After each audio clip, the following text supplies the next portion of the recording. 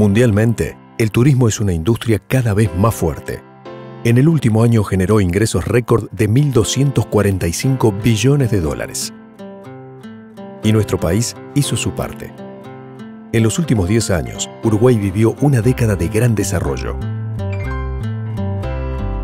Pero esto no termina acá. Uruguay ya está trabajando para los próximos años.